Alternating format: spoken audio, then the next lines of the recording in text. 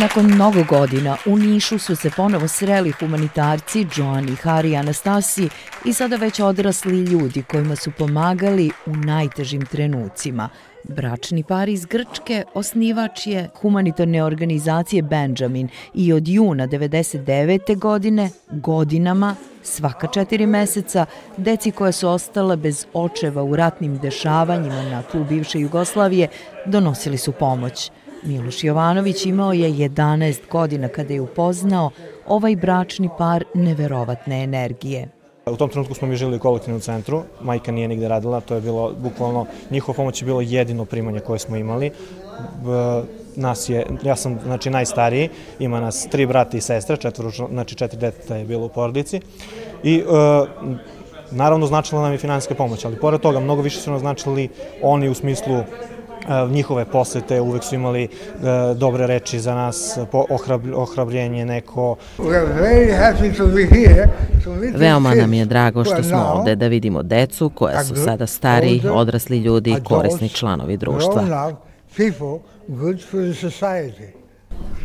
Da li ste ostali u kontaktu?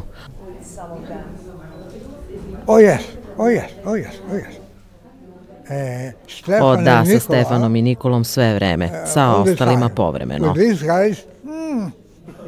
Miloš je od njih dobio i prvi računar, a danas radi Unifonu, poslove vezane za IT sektor. Nikola je lekar, trenutno na specijalizaciji. Otac mu je poginuo u Vukovaru. Joan i Harija upoznao je sa 10 godina.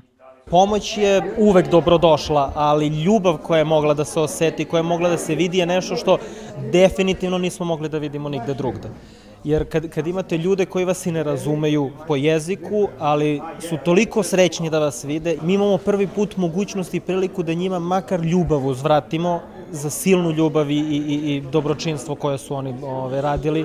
On je jedan od inicijatora ovog susreta. Svojim dobrotvorima uručili su zahvalnicu za sve što su učinili. It's a, it's a wonderful feeling to know that at least um, you have Predivno je osjećanje da vidite da smo imali neki uticaj na njihovo odrastanje, da smo ih ohrabrili, savetovali, pitali kako ide škola, kada shvatite da imaju dobre živote.